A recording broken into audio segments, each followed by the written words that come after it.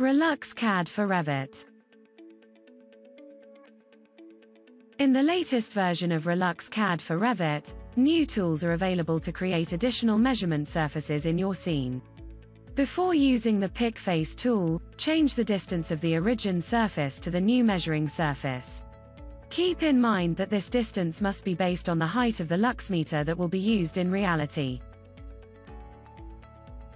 After selecting the Pick Face command, any surface in the room can be selected to create a measuring surface upon it with the previously defined distance.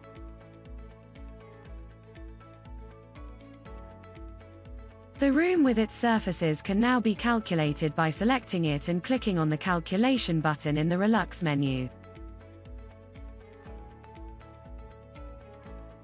After the calculation is completed, clicking on the room symbol displays the calculation areas of the room and in a second step, the false colors for these surfaces can be activated.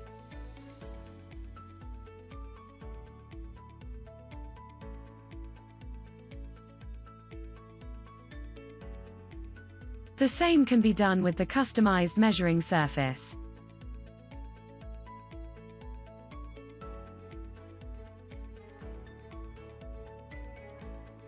The displayed false color results can be hidden, and the surfaces of the room can be deactivated. Now we will do the same in the 3D view.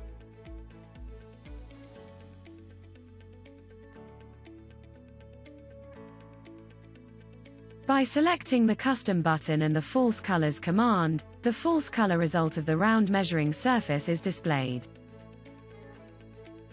Create additional measuring surfaces based on existing surfaces easily and directly in your Revit project.